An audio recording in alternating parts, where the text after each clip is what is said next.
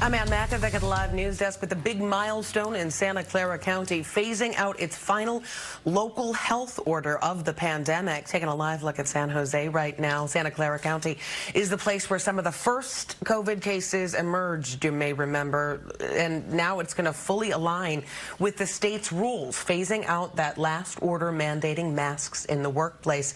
Cal OSHA ruled last week that fully vaccinated employees may go mask free and relaxed social distancing distancing rules, and it does not require a workplace's vaccination information be reported to the county. In the meantime, the health department will work to continue vaccinating more people. As always, we want no one to be left behind, and we are doing everything that we can to reach those uh, who've not yet been vaccinated, are eligible, and wish to be vaccinated. Santa Clara County actually has the nation's highest vaccination rate among large counties in the United States.